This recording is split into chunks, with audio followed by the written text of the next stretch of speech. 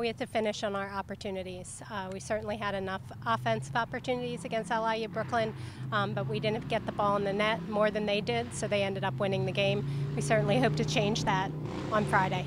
So last time we played LIU, we had so many shooting opportunities, just couldn't put the ball in the back of the net, which was really frustrating for us. Defensively, um, it was hard. We stepped up because we had the possession and we were always pushing for goals. Uh, they had their two opportunities and they took them, so credit to them. But I think this time we just need to keep calm. If we don't score within like the first couple of minutes, we know that it can, it'll still come and keep building. Like we know that we can put the ball in the back of the net. So it's time to do it tomorrow.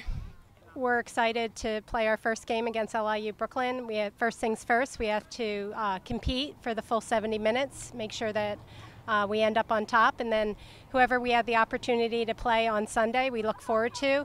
Um, we're one and one in championships on this field, so we'd like to finish with a winning record on that and uh, come home with the championship on Sunday.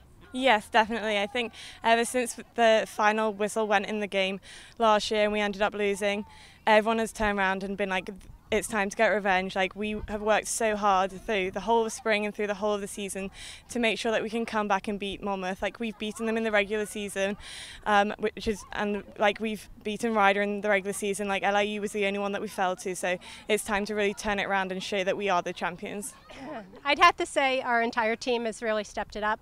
Um, we have multiple people for every position on the field. I'm, I'm comfortable with at least one person, if not two. Um, but our seniors in particular have really stepped it up. They're extremely motivated from uh, the moment we met together as a class last January to um, yesterday. They have one goal in mind, one team, one goal. That's been our motto all year, is to make it back to the championship game and to win it.